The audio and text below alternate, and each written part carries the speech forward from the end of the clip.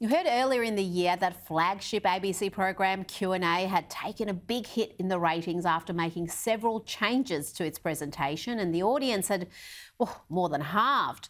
As well as shifting to a Thursday night, the show has been hosted by the young and very woke Hamish Macdonald since February 2020. But after going missing from the show for several weeks, the ABC confirmed yesterday that Macdonald's time in the chair was no more. Join me to discuss this move and more is media writer for The Australian, Sophie Elsworth.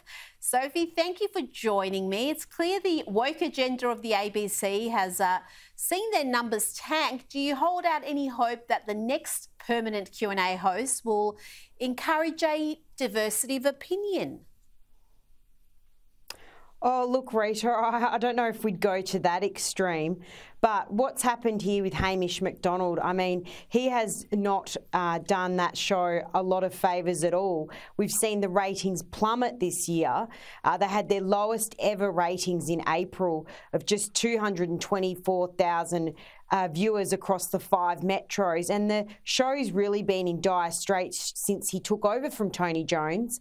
Uh, and a lot of people are just tuning out of this nonsense that's on there every week with this far left green agenda, which has obviously gone so much that way that even the ABC types are tuning out. So they sent him off yesterday with a press release saying, you know, it was all very nice and thank you, Hamish. And he said, Oh, you're wonderful.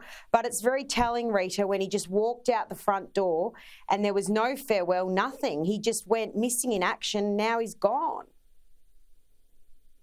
Interesting. It will be very interesting to see uh, where he pops up next. Uh, but yeah, if you become too woke for the ABC audience, then you have gone too far.